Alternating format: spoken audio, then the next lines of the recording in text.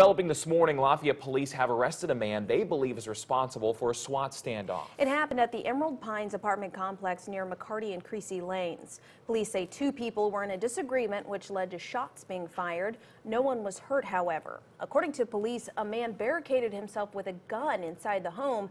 The SWAT team negotiated with the person for several hours.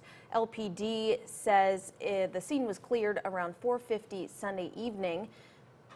A home in Lafayette was the target of a porch theft late last week. Unfortunately for the crook, the